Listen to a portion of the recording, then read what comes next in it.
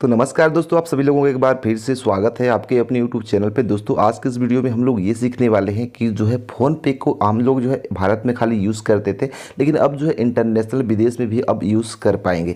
जैसे दोस्तों, आप लोगों को बता दें इंटरनेशनल जो है हम लोग नहीं कर पाते थे पहले। मतलब ट्रांसफ़र पैसा ट्रांसफ़र मनी ट्रांसफ़र जो है फ़ोनपे से नहीं कर पाते थे रिसीव नहीं कर पाते थे। लेकिन दोस्तों, अब जो है यहाँ पर फ़ोनपे में लॉन्च कर दिया गया है। किस प्रकार से एक्टिवेट करना है इंटरनेशनल ट्रांजेक्शन को और जो है किस प्रकार से आपको एक्टिवेट करके बताएँगे और पूरी जानकारी इस वीडियो के माध्यम से बतलाने वाले हैं। तो वीडियो को आप शुरू से लेकर लास्ट तक ज़रूर देखिएगा, तब आपको पूरी समझ में आ जाएगा किस प्रकार से आपको इंटरनेशनल ट्रांजेक्शन को एक्टिवेट करना है। तो इंटरनेशनल ट्रांजेक्शन को एक्टिवेट करने के लिए दोस्तों, सबसे पहले तो अपने फ़ोन पे को ओपन कर लेनी है और ओपन करने के जस्ट बाद दोस्तों, आपको इस प्रकार से एंटरफेस खुल के आ जाएगा। तो यहाँ पर सबसे पहले तो आपको यहाँ पर ऑप्शन देखने को मिलेगा, यहाँ पर देखने को मिलेगा आपका प्रोफ़ाइल। प्रोफ़ाइल के ऑप्शन पर आपको क्लिक कर देनी है। जैसे ही क्लिक कर देंगे दोस्तों, आपको इस प्रकार से एंटरफेस खुलेगा। तो यहाँ पर सबसे पहले तो क्या होगा।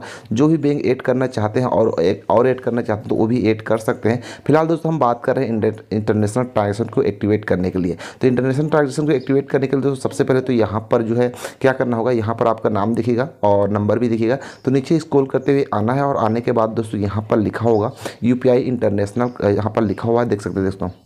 यहाँ पर। तो इसके फ़ायदे क्या क्या हैं? देखिए देखिए दोस्तों, इसकी जो व्यापार जो, इसके फ़ायदे बता देता हूँ। तो जो व्यापार करते हैं, विदेश में व्यापार करते हैं और जो है, जो लोग जो है इंटरनेशनल ट्रांजेक्शन करने में जो है, बहुत परेशानी पहले जो है, बहुत परेशानी का सामना करना पड़ता था। लेकिन अब जो है दोस्तों, आप लोग जो है ईजिली इंटरनेशनल ट्रांजेक्शन कर सकते हैं।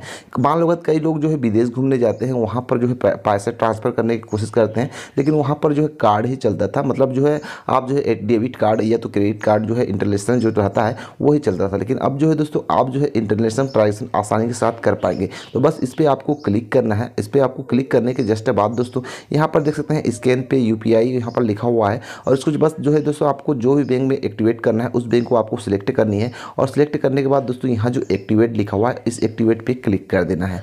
एक्टिवेट पर जैसे ही क्लिक करेंगे दोस्तों, आपका जो है इंटरनेशनल ट्रांजेक्शन एक्टिवेट हो जाएगा।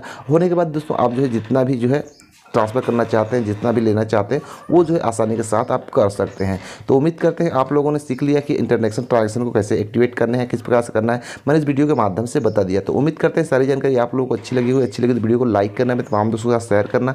अगर मन में भी कोई सवाल हो रहा हो तो नीचे हमें कमेंट सेक्शन में ज़रूर बताना। चलिए मिलते हैं नेक्स्ट वीडियो में एक नए टॉपिक के साथ, एक नए वीडियो के साथ। तब तक के लिए खुश रहो, सलामत रहो।